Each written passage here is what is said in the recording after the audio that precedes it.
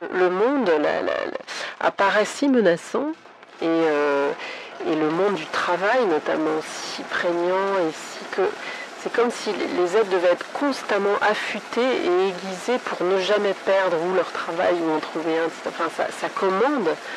On a une société qui réussit à raisonner les êtres de manière insensée autour de cette notion de travail. Et du coup, le reste apparaît comme des moments superflus qu'on s'accorde ou des moments de liberté et non pas le, noyau, la brûlure centrale qui nous élève et qui nous commande, qui devrait être euh, l'amour et la pensée. Enfin, je veux dire l'amitié et la pensée.